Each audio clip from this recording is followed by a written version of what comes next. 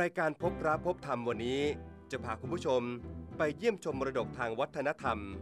ซึ่งเคยได้รับรางวัลยอดเยี่ยมอันดับหนึ่งระดับโลก จากองค์การยูเนสโกมาแล้วถึง 2 อย่างด้วยกัน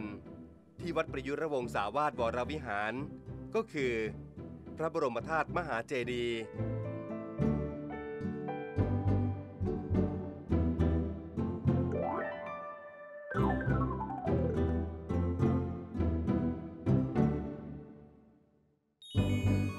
กับอาคารผลินทปริยัติธรรมศาลา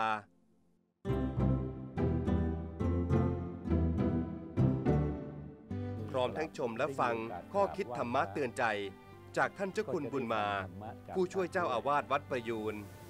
ธรรมะชื่อว่าเป็นของดีที่สุด ไม่มีอะไรจะดียิ่งไปกว่าธรรมะอีกแล้วฉะนั้นท่านพระเถระรูปใดที่ท่านตั้งใจให้ธรรมะกับประชาชน ท่านก็ชื่อว่าทำงานเผยแผ่แก่ประชาชนไปด้วย เพราะว่าการเผยแผ่การเทศนาว่าการเป็นงานของพระ ดังคำที่กล่าวว่า เทศนาว่าการคืองานพระ ถ้าเลยละพระธรรมจะสิ้นแสง ความเลวร้ายการีจะมีแรง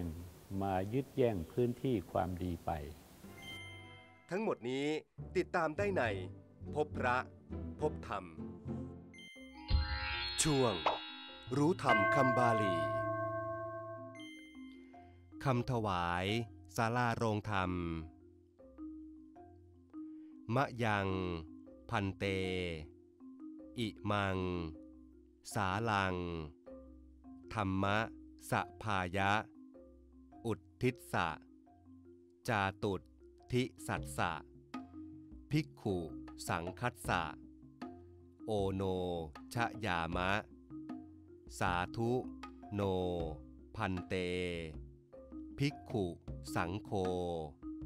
อิมัง สาลัง ปติกคันหาตุ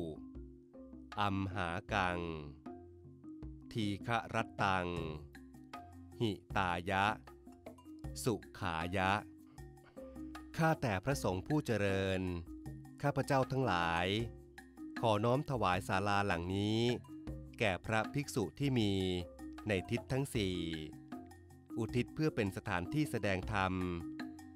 ขอพระภิกษุสงฆ์จงรับศาลาหลังนี้ของข้าพเจ้าทั้งหลาย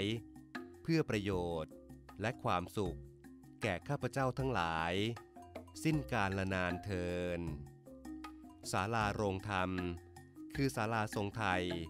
คล้ายศาลาการประเรียน แต่สร้างไว้กลางหมู่บ้าน เพื่อให้คนในชุมชนใช้เป็นที่ประชุมทำบุญ หรือฟังธรรม เป็นต้น หรืออาจจะเรียกว่าศาลากลางย่าน รู้ธรรมคำบาลี